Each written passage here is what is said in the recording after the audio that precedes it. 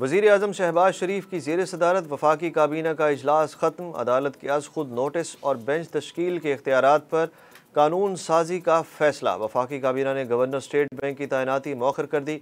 वफाकी काबीना ने D G F I A Rai Tahir को अहदे से हटाने और उनकी जगह मोहसिन भट्ट को नया डी जी एफ़ आई ए लगाने की मंजूरी दे दी।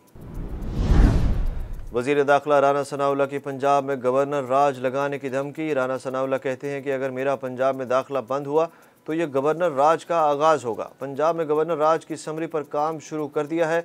इस्लामाबाद में प्रेस कॉन्फ्रेंस करते हुए राना सनाउल्ला का कहना था कि सुप्रीम कोर्ट के फैसले से सियासी सूरत हाल मजीद ख़राब हुई है।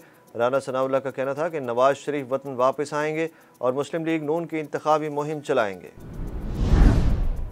राना सनाउल्ला की धमकी पर फवाद चौधरी की जवाबन वफाकी हुकूमत गिराने की धमकी। फवाद चौधरी ने कहा कि हमने रद्द अमल दिखाया तो हुकूमत नहीं रहेगी।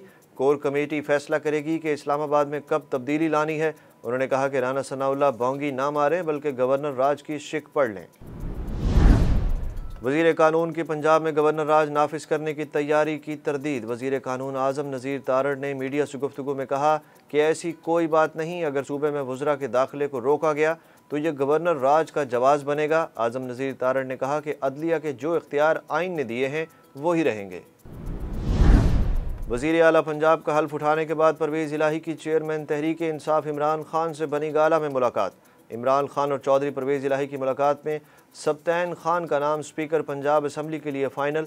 दूसरी जानब वज़ीर अला पंजाब परवेज़ इलाही को पंजाब असम्बली में ऑफ़िस अलाट। स्पीकर ऑफ़िस को वज़ीर अला ऑफ़िस का दर्जा दे दिया गया। वज़ीर अला पंजाब चौधरी परवेज़ इलाही ने कहा कि इमरान खान ने कहा तो एक मिनट नहीं लगाऊँगा, पंजाब असम्बली तोड़ दूँगा। पंजाब हुकूमत और इतिहादियों ने डिप्टी स्पीकर दोस्त मोहम्मद मजारी के खिलाफ तहरीक अदम अतमाद लाने का फैसला कर लिया। जराए के मुताबिक पंजाब असम्बली में तहरीक अदम अतमाद जमा होने के बाद चौदह दिन के अंदर कार्रवाई होगी। असम्बली जराए का कहना है कि पंजाब असम्बली में दोस्त मोहम्मद मजारी के खिलाफ पहली तहरीक अदम अतमाद ख़त्म हो चुकी। इमरान खान का आज रात दस बजे अवाम से खिताब का ऐलान। तहरीक इंसाफ के चेयरमैन इमरान खान ने कहा कि अवाम को एक खुद मुख्तार पाकिस्तान के लिए आगे बढ़ने का रास्ता बताऊँगा। इमरान खान ने ट्विटर पर लिखा कि कल शाम बेसाख्ता बाहर आने पर कौम का शुक्रिया अदा करता हूँ। कौम ने सुप्रीम कोर्ट के आइन को बरकरार रखने वाले फैसले की हिमायत की। मरीम नवाज़ के चीफ जस्टिस सुप्रीम कोर्ट से सवाल पूछा, चीफ जस्टिस इस खुली बल्कि नंगी नाइंसाफ़ी को कैसे जस्टिफाई करेंगे? गलती की तो लाडले के हक में, गलती की तस्ही की तो भी लाडले के हक में।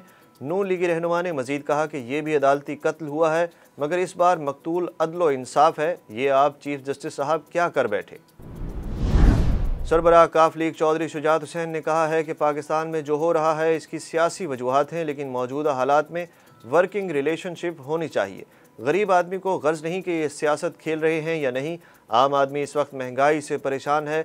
सियासी जमातें इख्तलाफात नहीं भुलाना चाहती, ना भुलाएँ, लेकिन मिल बैठ कर गरीब आवाम की परेशानी का हल निकालें। तहरीक इंसाफ के रहनुमा और opposition leader Sindh assembly Haleem Adil Sheikh को जाम शोरों से गिरफ़्तार कर लिया गया। हलीम आदिल शेख जाम शोरों में अपने मुकदमे की समात पर एंटी करप्शन दफ्तर पहुँचे थे।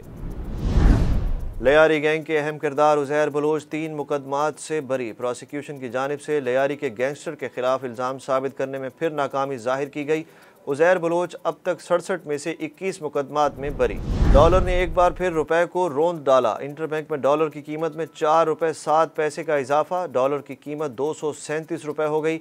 ओपन मार्केट में डॉलर दो सौ चालीस रुपये पचास पैसे की सतह पर पहुँच कर बंद हुआ। नौ रोज़ में इंटर बैंक में अमरीकी डॉलर अट्ठाईस रुपये महँगा हो चुका।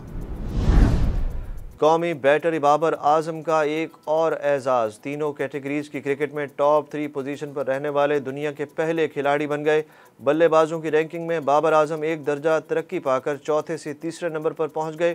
टेस्ट ओपनर अब्दुल्ला शफीक और फास्ट बॉलर शाहीन शाह अफरीदी भी टेस्ट क्रिकेट की ताज़ा तरीन रैंकिंग में अपने कैरियर की बेहतरीन पोजीशन पर हैं। गाल टेस्ट में चौथे दिन का खेल कम रोशनी के बायस रोक दिया गया। पाकिस्तान और श्रीलंका के दरमियान दूसरा टेस्ट मैच दिलचस्प मरहले में दाखिल। गाल टेस्ट के आखिरी रोज़ पाकिस्तान को जीत के लिए 419 रन दरकार होंगे, जबकि कौमी टीम की नौ विकटें बाकी हैं।